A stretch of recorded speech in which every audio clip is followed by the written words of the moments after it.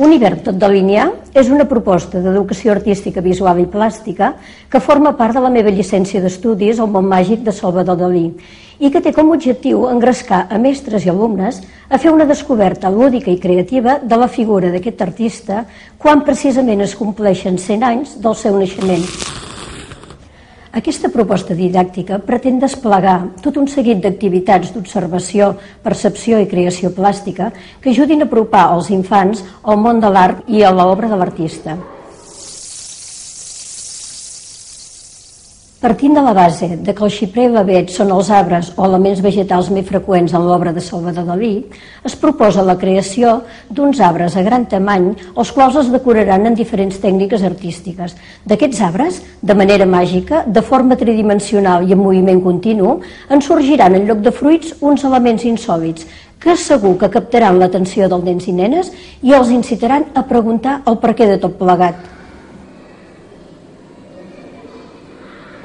Cada element es presenta revestit de curiositats i anècdotes, de tal manera que convidien els infants, a partir de l'observació atenta d'una obra de Salvador Dalí, a intentar trobar aquest element protagonista entre tot el munt d'imatges i formes extravagants que configuren l'obra.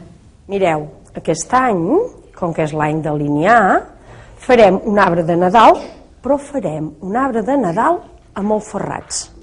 Els altres classes fan diferents elements i nosaltres farem amb el ferrats, amb diferents materials. D'acord?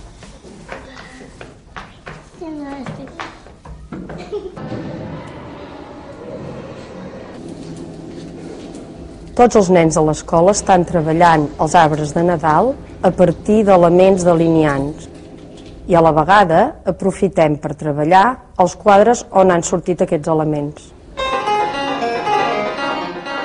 Arran de la celebració de l'any Dalí, la nostra escola ha anat treballant tota una sèrie de propostes d'observació i d'expressió artística eh, d'un hivern tot de linear i hem realitzat un projecte que relaciona el medi natural amb l'expressió plàstica.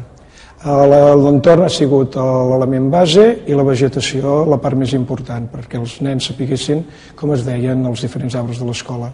Cada grup ha anat treballant un arbre, han vist els canvis a través de les estacions i l'han plasmat eh, plàsticament amb diferents tècniques, de tal manera que quedés un arbre entre la realitat i la ficció. I el punt més important ha estat el fet de que els fruits d'aquests arbres s'han convertit en elements delineants. Els continguts d'aquesta proposta i el desplegats en el curs sobre el món màgic de Salvador Dalí realitzats a Figueres han contribuït a millorar la sensibilitat dels docents i abocar-los a treballar amb els seus alumnes diferents activitats expressives i plàstiques d'un gran valor tant expressiu com comunicatiu. L'objectiu principal i bàsic del nostre projecte ha estat introduir el nen en el món de l'art, que el sàpiga llegir i que el sàpiga comprendre. S'ha fet tot un treball de recerca d'informació sobre l'obra de l'artista.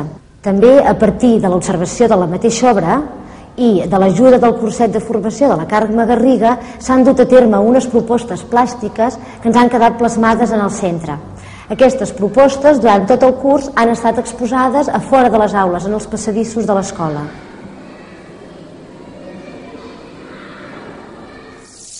Un hivern tot línia es va començar a difondre a través de xerrades informatives en diferents centres de recursos del Gironès i de l'Alt Empordà. Més tard, en col·laboració amb els mitjans audiovisuals del Gironès, es va poder penjar en forma de web a la xarxa d'Istec i va ser a partir d'aquest moment que els seus continguts es van estendre arreu de Catalunya.